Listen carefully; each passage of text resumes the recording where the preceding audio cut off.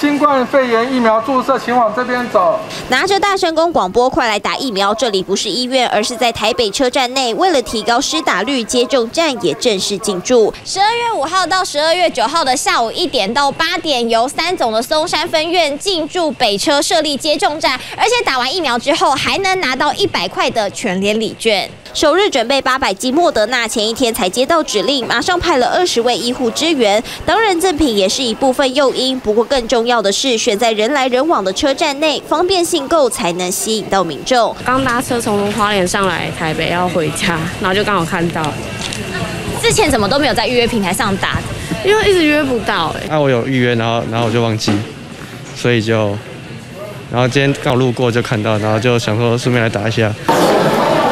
同样人潮多的还有这周开城的新北耶诞城，是否看准大家来拍照打卡？十二月五号下午两点到六点，以及十二月十一号到一月二号之间的每周六日下午两点到八点，市府内二楼西侧回廊也能随到随打莫德纳疫苗，持续冲高涵盖率。尤其最新宣布，二十四个场所的从业人员要强制接种，明年一月一号开始实施，所以请相关人员尽速于。